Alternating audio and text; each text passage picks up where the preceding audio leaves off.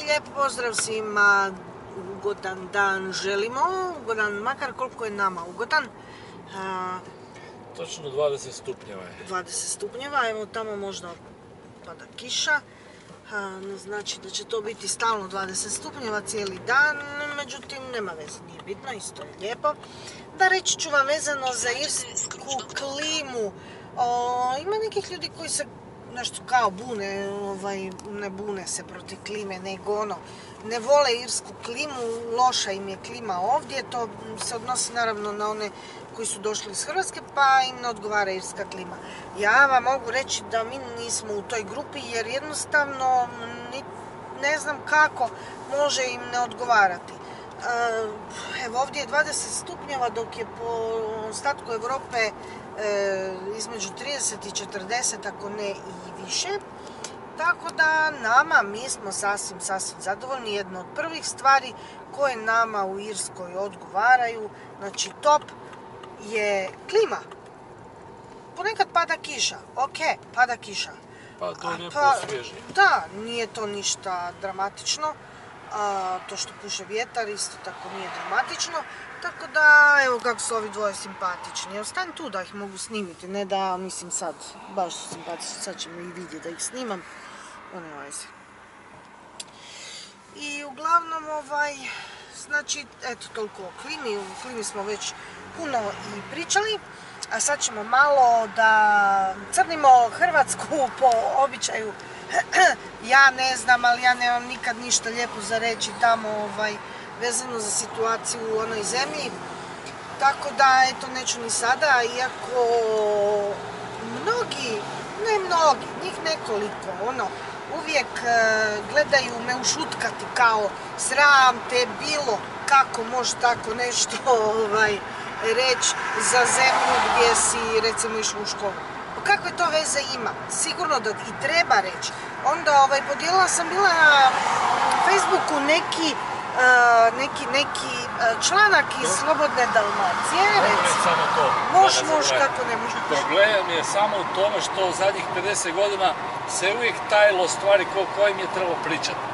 Kad bi se bilo pričalo o važnim stvarima i o negativnim stvarima, možda bi se bilo to i rješavalo.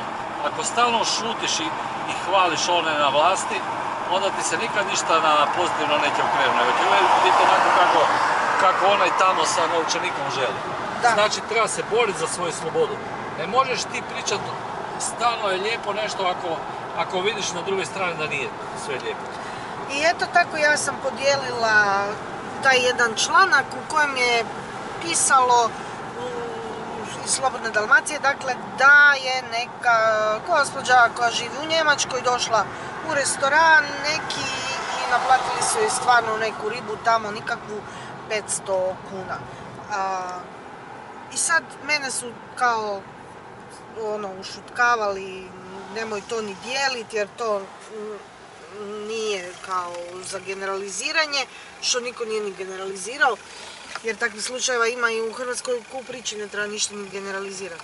Uglavnom, evo nova, jedna nova stvar, jeste ono smeće, a, odvoz smeća, zatvori malo ovaj prozor jer sam ništa nećemo čuti. Znači, a onda i vruće. A dobro. Uglavnom, ovaj, e, ukoliko, to je ta nova neka e, vrhunska izvedba, izmišljotina, izmišljena e, stvar da, nahru, da nagrabe još novaca na hrpu, jeste da ako mjesec dana ne bacate smeće u svoju ovaj, kantu za otpadke, globit će vas 500 kuna. To ovisi kako su odvoje, ako su... i koji čija je kanta. To sam sigurna. Na- što bi značilo, po njima oni to ovaj, opravdavaju tako, kažu, znači da ako niste bacili smeće u svoju kantu, onda ste ga bacili negdje po šumi ili livadi. Eto, to je objašnjenje.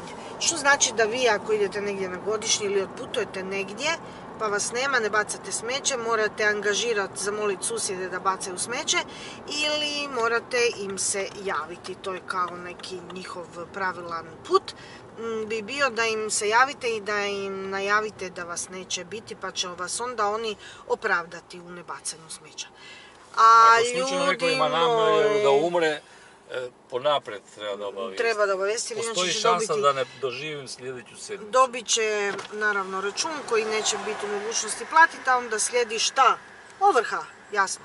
E, tako da, ajde baš sad Ali nije čekam oni da vidim kako će mi ko reći da, da priča. Oni su zabrinuti da se smeće ne ne, baca po, po šumi i to. U, zabrinuti su, majko Božja. Sve se dimi od njihove brige. Tako da, da, mislim, e, toga stvarno, pa ne, ja nemam riječi, eto, tu ću završiti jer nemam riječi. I još ću samo ovo, da, evo imam nešto za reći. Ekstremno mi je drago što smo se iselili od tamo jer nema kraja nema kraja. Nema kraja, doista, glupostima. To su gluposti, bezobraštine i stvarno, eto, ma nije u planovima u mom životu više otići u onu zemlju, ostaviti jednu kunu, gdje, e, ma niti jednu kunu, jer nikad ne ide tamo gdje treba. E, to znači ljudima koji su zaradili. Eto, toliko o tome. Znači, Hrvatska je stvarno što se mene tiče e, najgora zemlja ovaj, od zemalja za koje znam gdje sam bila. Eto, nema goreg. Jedva čekam da mi kaže neko kako je tamo super i fantastično. E, neću sad nabrajati imena, ali će se već naći. Javite se oni to koji se bore za demokraciju, Jel, za demokraciju. za prava penzionera, Sloboda govora. U Hrvatskoj slobodu govora, nemate slobodu bore. govora jer e, vam brišu tamo s Facebooka. Ako vam ne obrišu komentar, znači ne obrišu komentar jer e, im se ne, ne dopada, nešto je antiprotivan, onda vas čekaju pa vas uhapse negdje i tako to. Ne znam da li o tome znate, uglavnom tako je to ima i toga. Eto.